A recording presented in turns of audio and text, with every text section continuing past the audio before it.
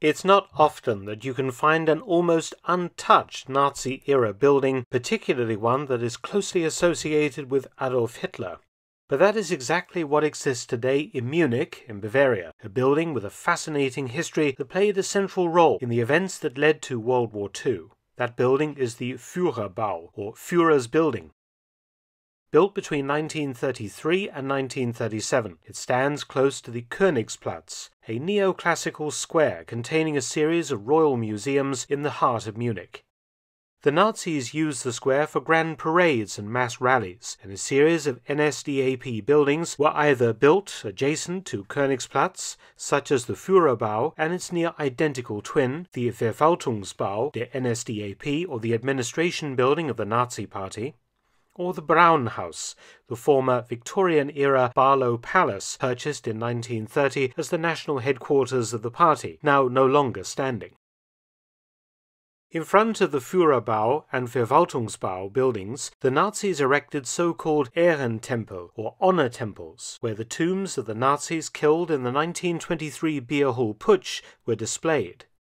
Only the foundations of these buildings remain today, please see my video that covers this fascinating subject, link in the end screen. Inside the Führerbau is Hitler's office, where on the 30th of September 1938, British Prime Minister Neville Chamberlain and French Premier Edouard Daladier, in the presence of Hitler, Benito Mussolini, Hermann Göring, Joachim von Ribbentrop, and other leaders, signed the infamous Munich Agreement, whereby Hitler was handed the Czech territory called the Sudetenland in the hopes of preventing a new world war. Unfortunately for Britain and France, the appeasement of Germany at the expense of Czechoslovakia only emboldened Hitler and would lead ultimately to the eventual German takeover of all of Czechoslovakia in 1939 and the German invasion of Poland, precipitating World War II. Hitler's office in the Führerbau is therefore of great historical interest to the people of all the countries I've just mentioned, and of international significance due to the terrible conflict that became inevitable once Chamberlain and Daladier had bent over Hitler's desk to sign the agreement. But unsurprisingly, the scene of such momentous events is today hidden from view. But I was determined to see it myself, and with my wife as my willing co conspirator, we decided to launch a raid on the Führerbau and get inside Hitler's old office. We'll probably get turfed out soon. Unlike so much of Munich, much of the Nazi architecture managed to somehow survive the Allied bombing campaign and the battle for the city, which was captured by US forces on the 30th of April 1945, the very day Hitler killed himself in his Berlin bunker. The US Army used the Führerbau and adjacent Verwaltungsbau, both buildings having deep and extensive bunkers beneath them, as the central collecting point, where art treasures, looted by the Nazis and recovered by the Americans, were stored and catalogued before being returned to the institutions or individuals that owned them.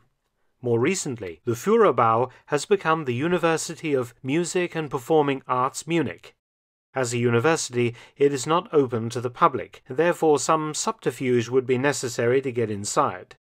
Fortunately, my MI6 training enabled me and my wife to bypass the building's cast iron security by the simple expedient of following in some students, whence we proceeded to pose as either mature students or dashingly youthful professors as we began our attempt to reach and film Hitler's office.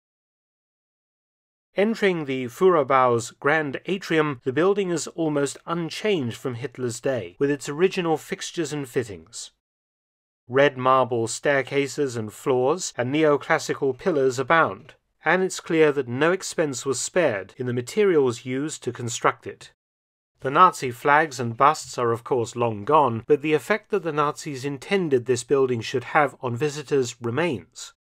This was the Fuhrer's building, large enough for him to entertain visiting heads of state, conduct diplomatic talks, and awe visitors with the power and taste of the National Socialist state.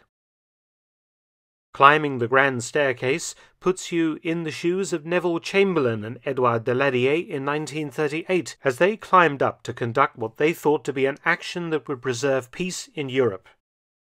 Light streams into the open, airy building from huge skylights.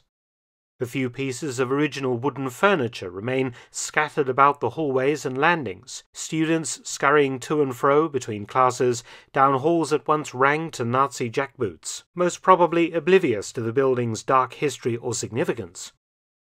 Instead of Hitler's speeches echoing from the building's Congress Hall, where Nazi leaders once gathered, this room has now been converted into a concert hall for student music performances, the sounds of instruments echoing around the huge building today. After exploring the building fairly thoroughly and without arousing any suspicions, I decided to locate Hitler's famous office. It would obviously be a large room located at the front of the building at the top of the main staircase, and there was indeed a pair of double wooden doors leading somewhere directly opposite the top of the stairs above the main entrance. Checking online just to be sure, Hitler's office is currently labeled as room A105.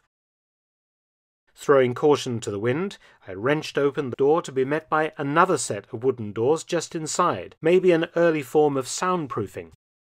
Opening these, I walked into Hitler's office finding that I had blundered into some kind of student teacher meeting. Excusing myself in German, I did see the large fireplace at one end, before which Chamberlain, Hitler, and Daladier had signed the Munich Agreement, before I backed out of the room, hopefully preserving my cover.